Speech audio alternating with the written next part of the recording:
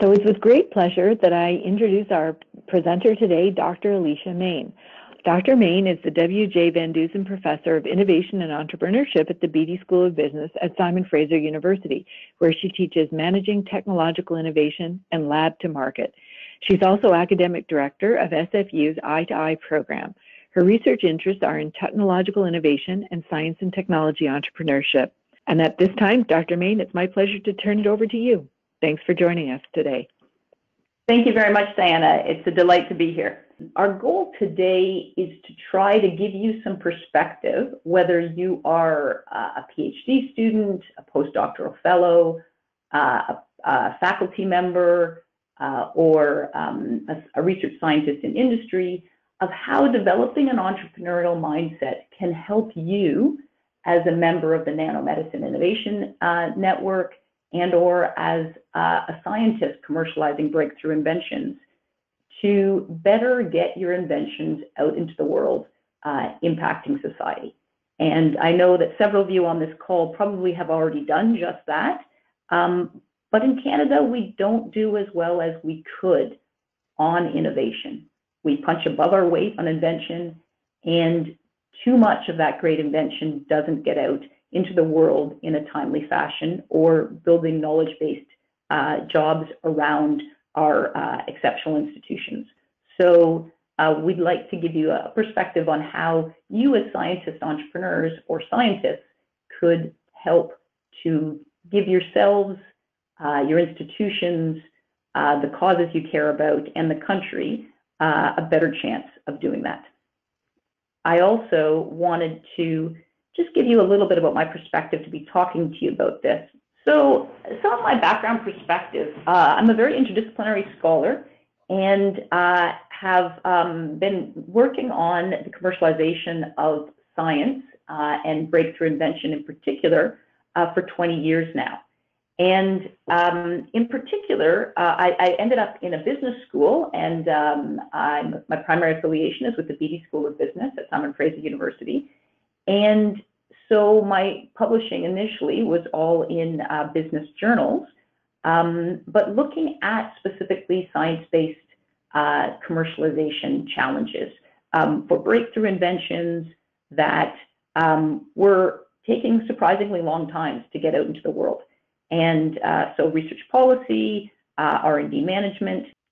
Also, uh, I started to move into interdisciplinary journals to get a broader uh, um, exposure to the types of researchers and also the types of practitioners that I wanted to have a conversation with. Again, looking at emerging industries and at radical invention, breakthrough invention, and the role that scientist entrepreneurs could play uh, in getting the most breakthrough um, inventions out into the world because uh, they're a different type of entrepreneurial uh, opportunity than, uh, than those that are less uh, radical. And eventually, after I got tenure and decided that, uh, that scientists didn't read management journals, um, I started uh, a new strategy of trying to publish in, uh, um, in nature nanotechnology, nature biotechnology, or nature materials, areas where uh, scientists were um, actually reading those, um, those those articles, and I was publishing innovation management research in these areas. Um, they say imitation is the greatest form of flattery. I, I copied uh, a scholar uh, at MIT, Fiona Murray, who is the now the dean of innovation uh, across MIT, but also um, uh, a very active innovation entrepreneurship scholar in trying to uh, to uh, have that venue for her research to be read and acted on. So I've looked at things very relevant to the Nanomedicine Innovation Network, um, the emergence of the nanobiotechnology industry, how that happens, dominant designs, where that happens, uh, and also how one can help a venture that is spinning out of a university that has a radical uh, technology or breakthrough technology um, and challenging commercialization conditions to use um, strategic timing and other um, entrepreneurial capabilities to help give them a better chance of success. this particular article I actually co-authored with a venture capitalist who also had a PhD in uh, advanced materials and 30 years of experience in investing in small uh, um, uh, advanced materials and nanomaterials firms uh, at Pangaea. And um, we were able to combine the academic perspective and review with his, uh, his industry experience um, to, to come up with some, some actionable um, advice for, in this case, the ventures once they were formed. But I also uh, uh, write a lot about what scientists can do before a venture is formed. So clearly, uh, there are a lot of opportunities from technology and innovation. I don't have to tell this crowd here, but there are some types that are um, uh, that are more difficult to commercialize than others. And part of this is a language issue. We think of all of the things on this picture as being technology innovation, when some of them are, are science innovation. Um, and you look at the, uh, the nanoparticle uh, in the center bottom of this screen, and uh, that's a much more challenging uh, invention to commercialize. So why is it more challenging? Well, one is when, when a science invention fits the category of being radical um, or breakthrough, and a radical uh, invention is defined as something that enables vast improvements in current performance attributes to the order of five to 10 times more advanced, or entirely new attributes. Um, or it might uh, have a very substantial reduction in cost per unit. But it's basically, it's, it's not incremental innovation. It's, it's got a lot more technology uncertainty and often market uncertainty. Another category is with, that radical signifies deep value creation. Um, another category mentioned that's difficult, and particularly in combination with radical, is generic technology. So something that is broad, uh, uh, actually going across several industry sectors. Um, and platform technology is only across one sector, but can also uh, have share some of these same challenges. So if we think about the context of the nanomedicine um, sector, there, there could be multiple applications, uh, multiple disease indications, and also multiple delivery mechanisms that an invention is interacting with. And uh, that also um, means that there's the potential for very broad value creation. And so a research question that motivated me and still does, but for the whole initial part of my career was how can possibly a radical generic technology with huge long-term potential for value creation not be attractive commercial, for commercialization. And so I investigated that in hundreds of firms and, uh, and developed some theory uh, and summarized some of these findings in the review article that we published in Nature Materials uh, in 2016. And essentially, it's distinguishing technology ventures from science-based ventures and looking at the impact of sustained high levels of uncertainty with substantial commercialization costs incurred before that uncertainty is resolved. So when you have a sustained high period of uncertainty and you have to make financial bets that are at a high level, uh, it's a very difficult commercialization challenge, particularly for a small venture, which, as we'll see, are, are more the vehicles for commercializing radical invention now than they were uh, in the decades previously. So, I mean, clearly in biomedical and nanomedicine, uh, clinical trials are a huge piece of that commercialization cost before uh, certainty. So it's not to say, as an investor, clearly uh, these areas in red, the science-based ventures, are more difficult to invest in, and they may well exceed the timeline that a venture capital firm uh, actually has to invest uh, in different options. Uh, most funds have to be returned, uh, have to return their funds and close down within 10 years. Um, and you can see that these development times are often longer than that. So there needs to be a liquidity event. Um, so it's a challenging situation, but there are things that you can do particularly before the company is even formed, uh, to help better uh, allow this uh, this sustained period of high technology uncertainty to uh, to be um, managed. And uh, you can think of it a lot like a real option. So here's a visual of that challenge um, and the language around it. So if we think about uncertainty, both technology and market uncertainty on the vertical axis, and time to commercialization, time from invention to uh, innovation, which means actually having it out in practice or getting revenue from it. Um, if we think about on different axes, and we think about the commercialization cost, so you've already had the invention, um, you've had the publication in, in a journal, uh, and you have probably patented at this point, but the actual commercialization cost still before you're, you're achieving revenues is what's indicated in this red circle. And clearly, science-based ventures are a totally different beast than technology ventures, even though they're often treated the same way broadly in innovation policy. And so as a starting point, as a scientist, and as those who are interacting with scientists and uh, innovation policymakers, it's important to distinguish the various types of challenges and the huge opportunity that comes with science-based business and science-based ventures, as well as the ability to uh, positively impact the world around us and to meet um, uh, global challenges. So uh, this language is important and also, uh, imp importantly to understand here in Canada is that we do really well in invention in this, in this uh, zone and not well in innovation. And when asked what their major barriers to innovation were, um, leaders of, uh, of companies across the country have consistently stated over the past few decades that their top barrier to innovation is risk and uncertainty.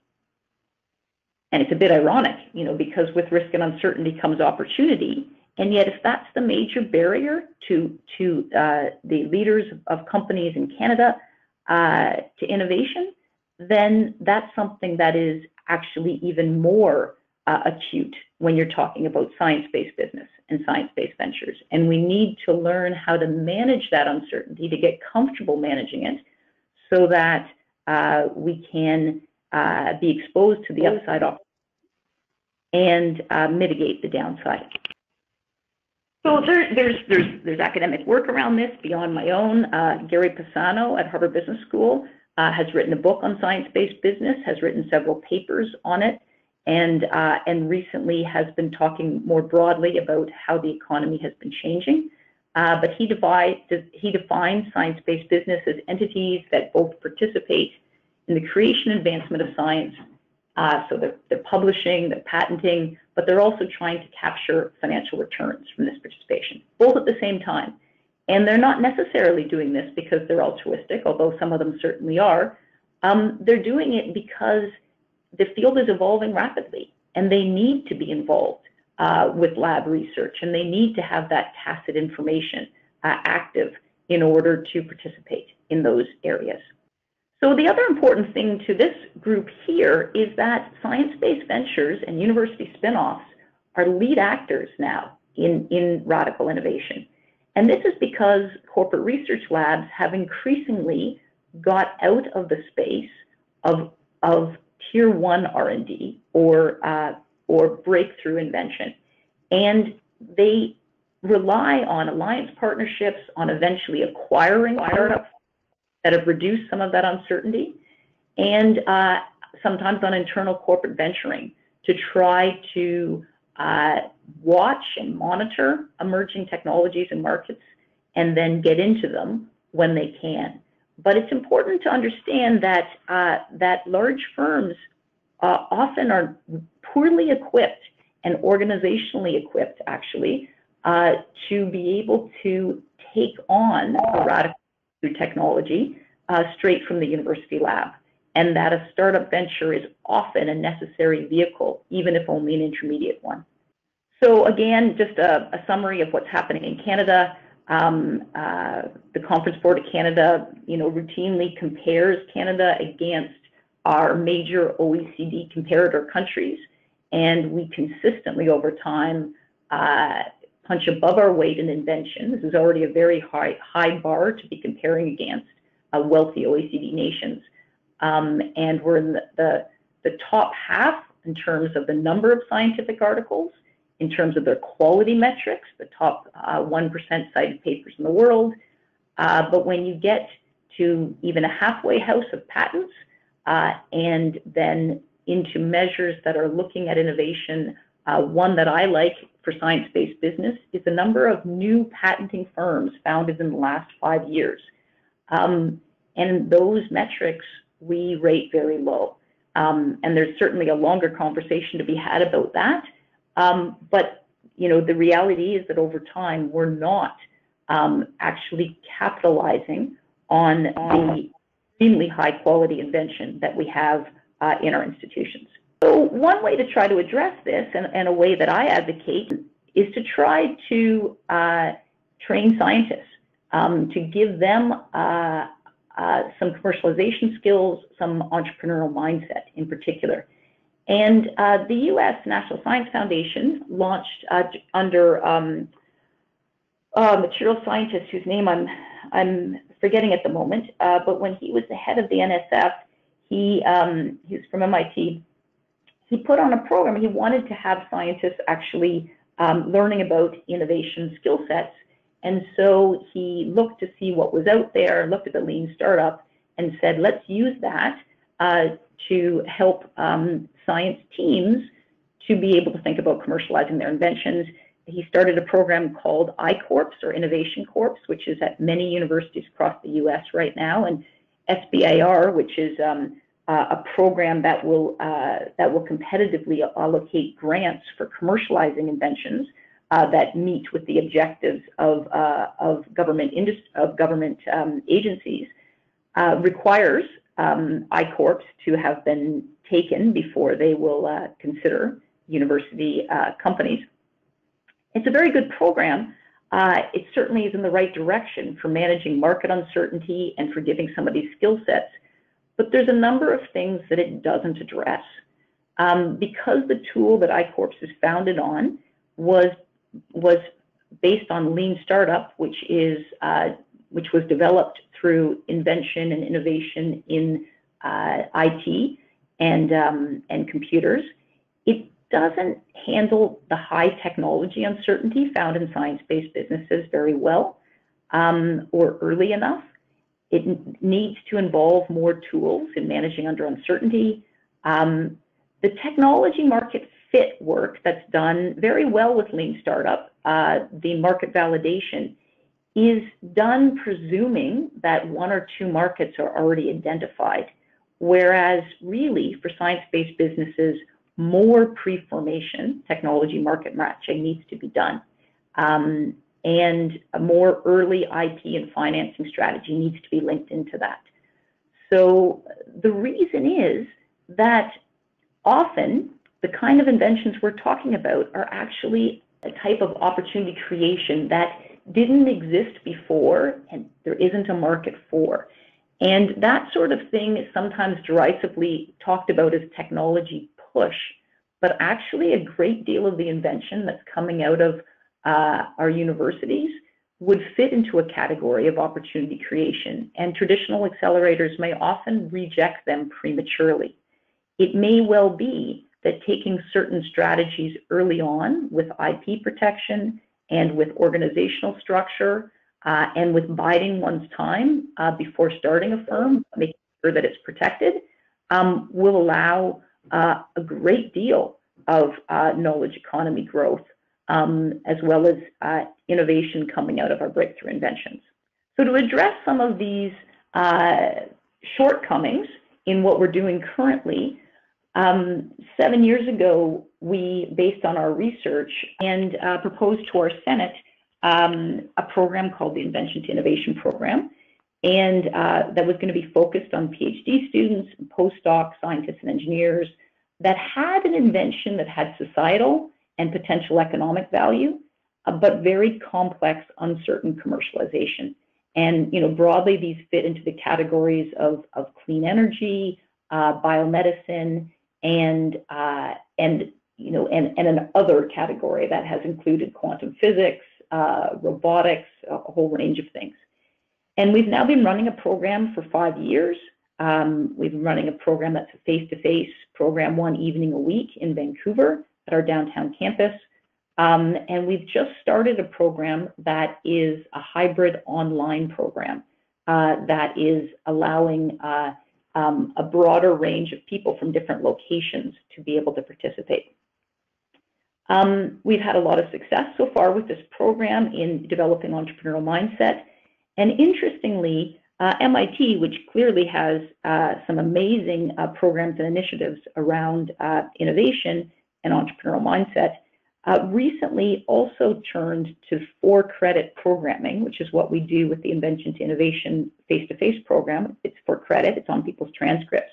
They've turned to that as well to tap into their uh, the sophisticated thinking that goes on in the Sloan School of Management with the Innovation and Entrepreneurship Group, uh, to have that more broadly accessible to the entire university at MIT. Um, and in their new uh, Innovation Initiative 2.0, one of their big goals is to have their world-class innovation education available to every member of the university across faculties because there's silos that have been building up that they want to get over.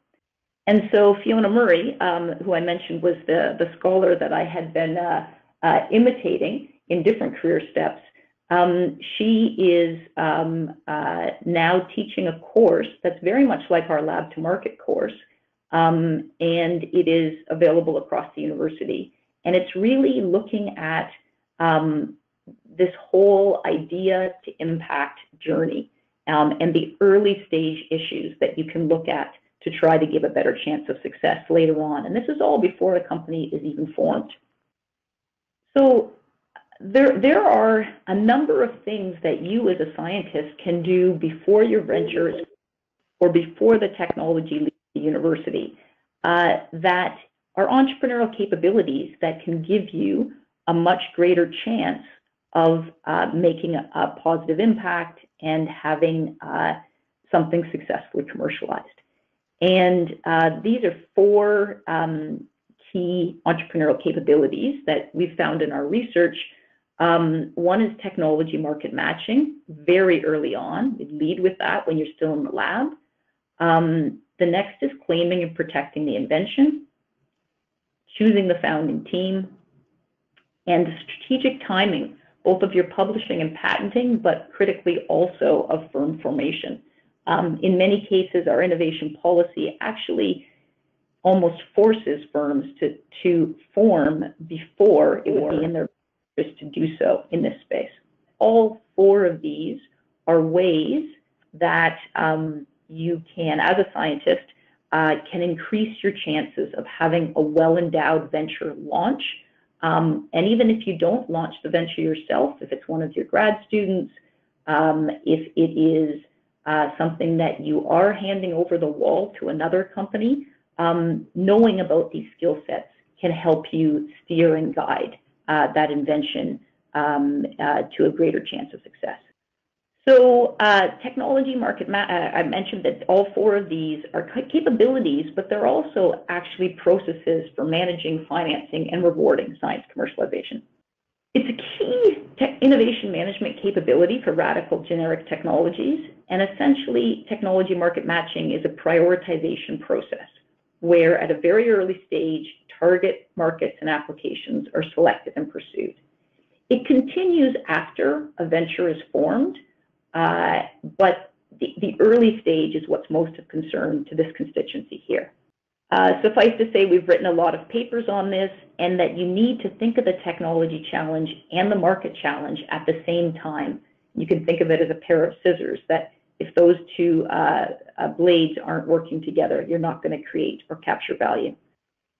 Um, an example here is a, a nanomaterials startup. Um, it was a nanoparticle process uh, invention, Nanogram, um, who created possibilities across six distinct market verticals, um, but notably very, very different ones in the biomedical space, um, in, in making uh, wireless implantable uh, medical devices uh, that were longer lasting, uh, in telecommunications, and in alternative energy generation.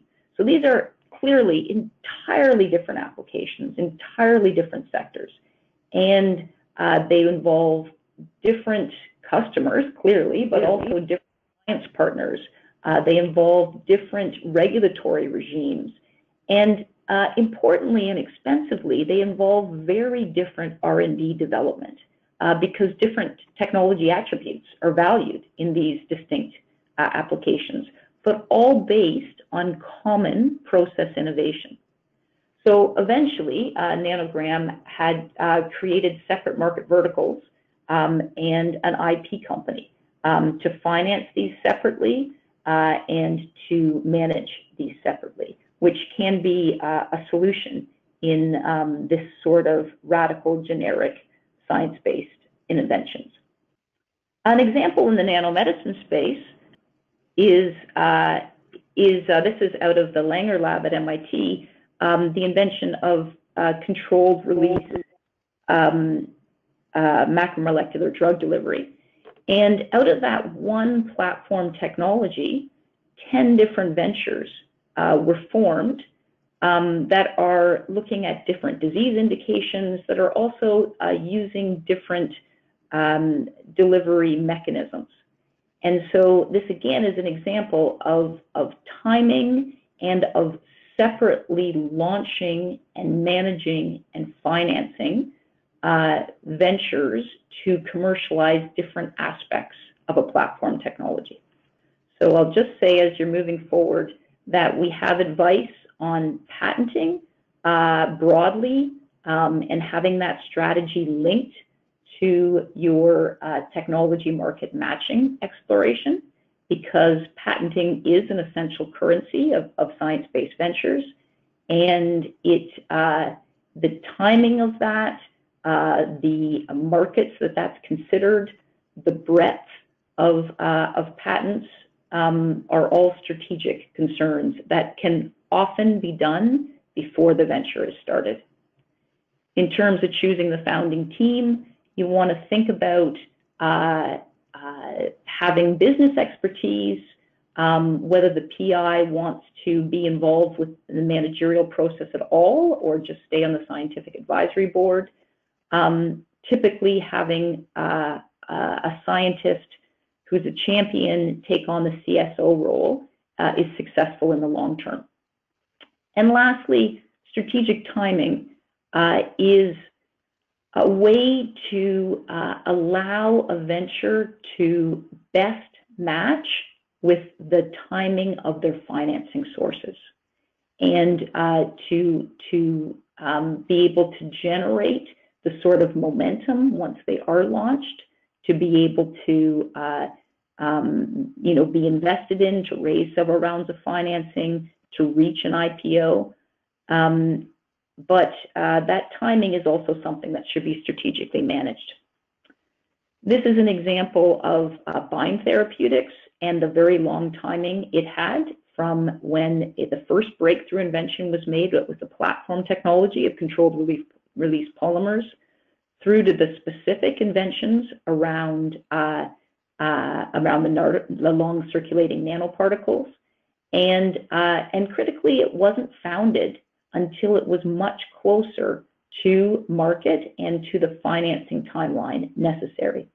Um, so again, you know, the, the, the point being that um, strategic timing and in this sector, often waiting to launch uh, until there is um, uh, the sense that you will be able to have several advances in a time frame that suits your method of financing uh, can be um, very good advice. This is just to say that strategic timing, we found this, we looked at every um, nanobiotechnology drug delivery venture in North America, and the ones that IPO'd all were exhibiting strategic timing.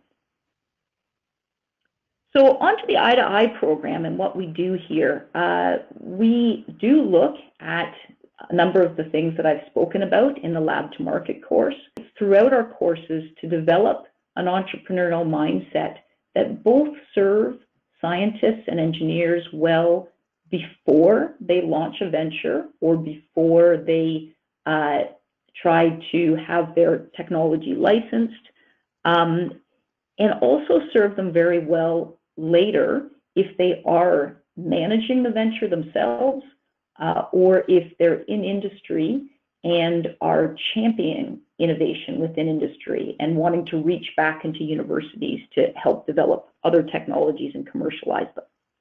And there's three big paths, and these are the, we came to the realization about a year ago that our alumni were, were following different paths uh, with the skill sets that we were trying to develop and the entrepreneurial mindset we were trying to develop. And uh, our, our, three alumni today are going to talk to these different paths. Um, the first one is, you know, clearly a scientist entrepreneur path. We want to help uh, with the creation of well-endowed science-based ventures uh, to give them enhanced chance of success um, and the ability to create and capture societal and economic value. And uh, Ada Leung, who's in our current Mitacs I2I uh, cohort uh, and part of your Nanomedicine Innovation Network community, is going to talk to that path and her experiences. Uh, the second is a Champions of Innovation path within industry. And you know, here you could be a bridge to novel university inventions. You could also lead new product development in industry. Um, and you may also clearly veer from path to path. You may also become a scientist entrepreneur, but but there's there's there's a path here that is being better utilized in industry and being able to unleash more of your um, leadership in this space. And uh, Jay um, is going to talk to this. And lastly, uh, a translational scientist path. So being able to um, steer your some of your research to have at an early stage to have more success in translational grants, but also in order to have you know meaningful science-based research and uh, to be able to have more of an impact if that is what you desire in having your inventions eventually taken up while still staying within uh, a research institute. So I am going to, forgive me, I'm going to not uh, read the bios of our three alumni. They're available to you on our webinar page. Um, they're all uh, extremely accomplished, um, but I want to give chances for them to speak to their slides and to the questions. Um, so uh, I'm going to uh, first turn to, uh, to Ada who uh, has her PhD from UBC who has uh, who is working with the BC Cancer Agency, who's part of our of our Mitacs I2I cohort, and who is a co-founder uh, of Cuprous Pharmaceuticals. Uh, Ada, over to you to talk about uh, entrepreneurial mindset from your perspective. Thank you, Elicia. Okay, so I'm just going to start off with a quick background on myself. I did my undergrad at UBC and BCIT through the biotech program. And really my studies and co-op experience inspired me to go into grad school thinking of actually finding an industrial position afterwards. I did my PhD with Dr. Marcel Bally, and for those of you who know him, it's not going to be surprising that I went from being a molecular biologist to a formulation scientist. And like I said, I was always interested in going back to industry, but I really didn't expect to actually have co-founded Cuprous Pharmaceuticals based on a technology that was developed at BC Cancer. And since then, I've embraced the opportunities to really learn about how to actually become a scientist entrepreneur. And that's when I came across the I2I program. And this one is the online cohort, which I'm currently enrolled in, and we're about halfway through the program.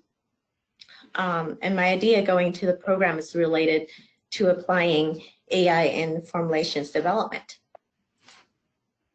So what I really learned in the last three months is really that scientists and entrepreneurs really share many of the same traits. So we're curious, we care about good science and integrity, uh, we're driven to solve problems, resilient, and we like to take on challenges. So if you're a good scientist, you're probably also going to make a good entrepreneur. And what I really like about the I2I program is that it is designed to really help entrepreneurs to learn how to manage science-based ventures that have a very long development timeline. This is in contrast to a lot of the other tech-based programs that focus on commercializing apps or technologies that can be launched within a year or two. So research really takes a long time, and we know, all know that. And at every stage, we're faced with a lot of uncertainties that could make or break the company. So the I2I program provides us really with frameworks on how to anticipate some of the challenges, come up with flexible strategies, and continuously monitoring our progress so that we can move the venture along. So far, it has really helped me a great deal in terms of learning how to have more of an entrepreneurial mindset as a scientist. Uh, I've learned to look more and think more from the customer's perspective and go and validate my assumptions. And also to make sure that as a company, we have regular strategy sessions to manage the uncertainties that we're always facing. So as of now, I would say that what I've learned from the program is really helping me to better perform my role at Cuprous. And that's all I have to say.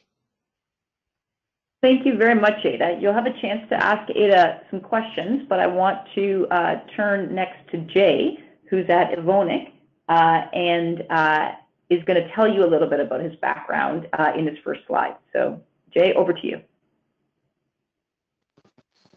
Thanks. Um, I'd like to start off by thanking both Dr. Maine and the organizers for giving me a chance to share uh, my story. Uh, my name is Jay Kulkarni, and I'm currently a scientist at Evonik Canada, um, which was previously Northern Lipids. Um, and how I got here was also a bit of a strange story. Um, I did co-op during my bachelor's degree, which was also the biotech program, a joint degree between UBC and BCIT and um, I got my first placement at uh, Northern Lipids. Ended up doing uh, another two terms uh, there, and I really liked the work. The fact that it was translational and it was very different from what we had covered um, in in the biotech program. Uh, so then I very simply made the transition over um, into grad school with uh, Peter Cullis, who's founded Northern Lipids, uh, and my studies there focused on uh, lipid nanoparticle systems and uh, really the biophysics of LNP formulations for, of nucleic acid. Uh, we're trying to figure out what these systems are uh, and why they form the structures that they do. and then I did a short post, postdoctoral fellowship with Dr. Blair Leavitt, here again taking the learnings of my PhD and applying it to neurological disorders. So it was a bit of an expectation getting my PhD with Peter that uh, you have to have a spinoff, uh, otherwise you don't graduate. So, uh, needless to say, there was one spinoff that um, I'd like to just briefly discuss before I go into what the I2I program brought to me and uh, how it improved my my experience of commercializing something. So on the following slide, um,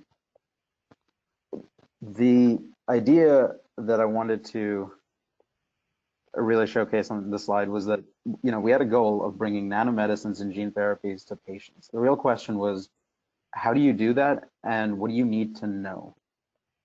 It's pretty obvious that you can't do that within a university, and you just don't have the necessary speed or funding, uh, and you really do need to have a dedicated team driving this forward. Uh, so you you know you incorporate something. Um, our focus was of course based on lipid uh, lipid drug delivery systems. So we were kind of late to the game. You know, you have to navigate this IP space, which uh, is is by and far the most difficult part. But getting that IP is critical to valuing your company. Um, and so by getting your own IP, you you make it that much harder for uh, the next set of uh, people who are coming down the same path uh, to get into uh, into that industry. So in terms of actually bringing something to patients, you have to look at it from a much bigger picture. And these are things that, as a scientist, you just don't, you're not trained to think about. Um, you know, the, this concept of market research, um, adoption curves, value chains, performance tra trajectories are nothing that I'd really um, heard of.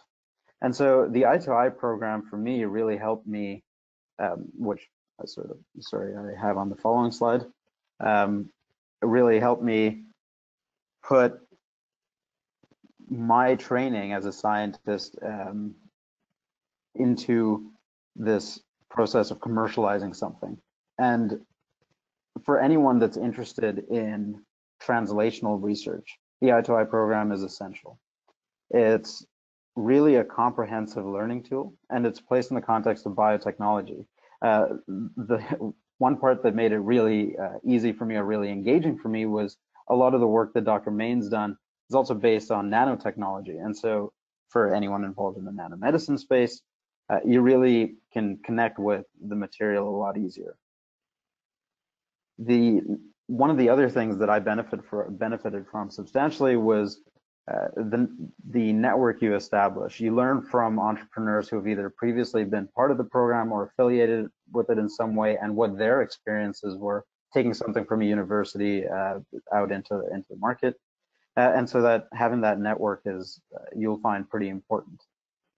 Um, and then finally, it gives you a very well thought out strategy for how to take your idea from just an idea to something that someone can purchase. Um, and uh, that's all I have uh, for my portion. Thanks. That's wonderful, Jay. Thank you very much. Um, and thank you, Ada, as well. Uh, now, our third alumni is currently on a plane. Um, she has said she's very happy to answer questions uh, that you may send to her elsewise, but she has sent some PowerPoint slides with voiceover. Hi, uh, welcome to the webinar. My name is Bahar and I'm happy to join you today. Yeah, it's me. My background is in physics and biomedical engineering with focus on design and fabrication of micro nano-sized medical devices. After establishing technical expertise, I could develop my innovation idea through the I2I program. As you know, in patients with Parkinson, tremors can be extremely harmful and can reduce the quality of patient's life. My idea was a flexible patch to monitor tremors in patients with Parkinson to determine and personalize of optimal medication dosage for each patient. My product is a flexible patch R.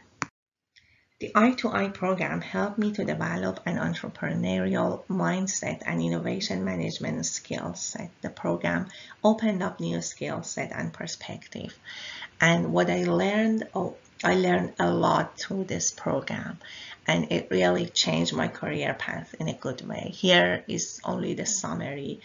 So I learned how scientific research can be commercialized and how science-based innovations um, you can view the scientific based innovations through a business perspective and you learn how to go beyond just thinking you have access to a broad business toolkit and to the great professional experts and mentors. And um, you, learn how to turn your advanced knowledge and research into innovative solutions to impact people everyday life and how to bring your innovation to the market. I, as I said, it's just a summary and uh, you, you learned uh, a lot through this program. Uh, in my role as a commercialization manager of the Sunnybrook Device Development Lab, DDL, I help scientists and graduates to develop products from invention to market release. Skill sets I gained during the I2I program help me every day in my job. As I mentioned in the DDL, we develop products from invention to market release, and here are the steps. First, we invent new devices that never exist then make a prototype, test them, and develop a product. The next step is commercialize that research-based innovation.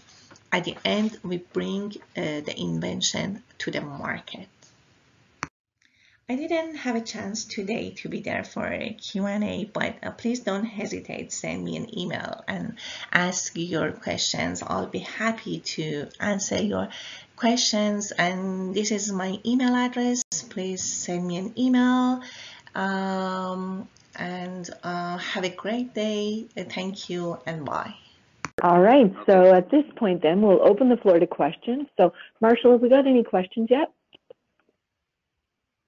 Yes, we have one already from Parissa Chakunian. Pardon for any mispronunciation. The question is, could you talk about challenges that regulations impose on innovation? Uh, sure. Um, I could speak a little bit to that, and Ada and Jay, you may want to think about it as well. Um, so I would say one challenge is that you know regulatory regimes can be very different across applications that your technology might be enabling, and that's also true in the nanomedicine space, um, or at least in the nanotechnology space that can be applicable to nanomedicine, uh, where people might choose to do something. For example, uh, they may try to to to move to the nutraceuticals market or something that doesn't require the same sort of uh, uh FDA regulation. Um, but in my experience, uh, regulatory regimes um, across different sectors uh, can um, make it more challenging for uh, an, a scientist to have their invention realize the value that it could enable. Um, uh, Jay or Ada, do you have something you want to add?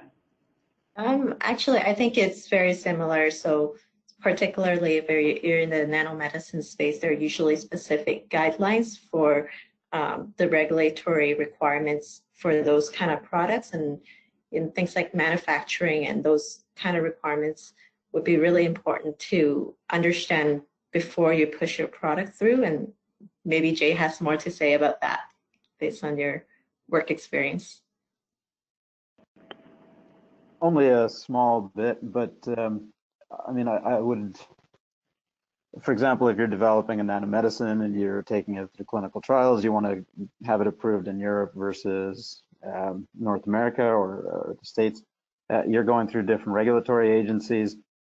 Um, typically, what you'll find is that uh, they'll have certain established standards that you're required to meet, uh, but they'll be different between Europe and, and the States. And so, uh, you know, you can you can definitely try and build that into the design of your system uh, to begin with.